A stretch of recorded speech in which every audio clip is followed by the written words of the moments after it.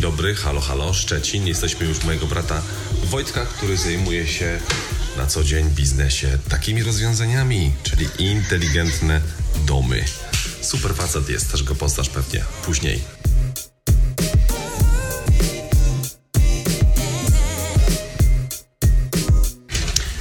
Dzieciaki się bawią, niektórzy jeszcze śpią, a ja wyciągam laptopa i zaczynam obrabiać zaległe odcinki wideobloga.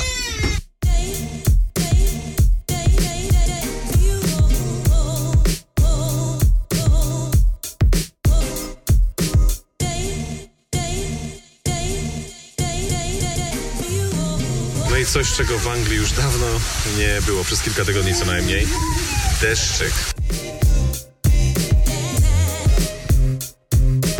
Właśnie, to są takie rzeczy, których e, w Anglii raczej nie zobaczymy. Park Ostrowska się to nazywa.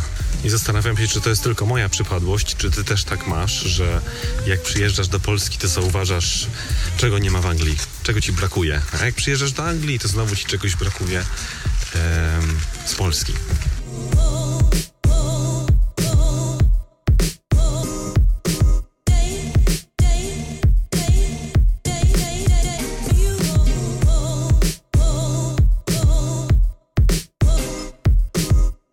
A dzisiaj jeszcze wieczorem odwiedzam moją mamę chrzestną i wujka, jej męża, który kiedyś właśnie zainspirował mnie do tego, żeby myśleć w życiu o wolności.